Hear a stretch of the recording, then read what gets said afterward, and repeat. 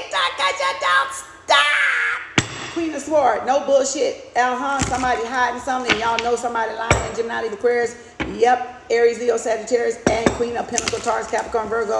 Somebody trying to keep somebody from finding out a secret. Somebody's focusing on their stability. King of Wands, power couple here. Again, somebody's working on something, want to come and work something out with y'all. They acting like they don't want to, but they do. All right, again, somebody's in their head like Fred and Frida. Y'all are coming out of that self-sabotaging energy. Somebody's going to be getting some justice across the board. Something is coming to a halt. You, baby, somebody could have did something wrong, something very bad. Uh, y'all could be divorcing a karmic or it could be the end of the road for a karmic cycle. For some of you guys dealing with a Scorpio, a Libra, and a Capricorn here, somebody's got a major decision about their happiness they're going to be making. All right, somebody want to apologize.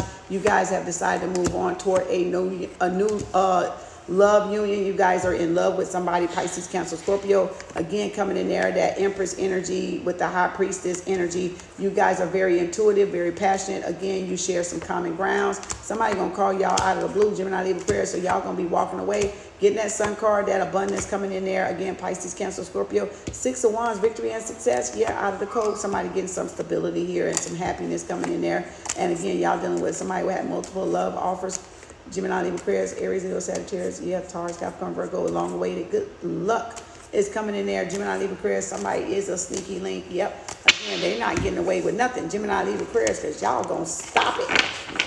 Y'all gonna stop it. This person is obsessing over y'all.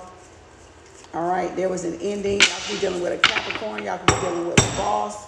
Let's get these cards here. Y'all got wealthy man here. Yep, y'all got somebody toil and labor Let's find out what's going on here with this karmic situation. There's a message coming in. There is jurisdiction. There is a divorce situation coming in here. What is this? Yep, a message of concern from the court. Somebody has got something message they're going to be getting this week from the court. Could be a delay. All right, let's see spirit source energy for the collective. What is your karmic update on this? Yep, toil and labor. This, yep, poverty. Somebody comes from poverty. They could have got divorced when they was young, their mother and father, so they grew up rough. All right, again, there was a separation. There it is. In a distant horizon, what's coming in, spirit? Something's coming in.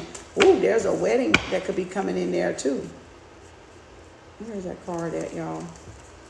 I could have sworn something flipped. There it is. The community card. Yeah, there it is. Somebody in the community working all right, again, yep, what else, Spirit? There's a lover card coming in there. So somebody could be coming in with a lover.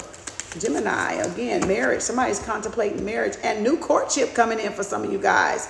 A commitment. Congratulations. Wow, Gemini.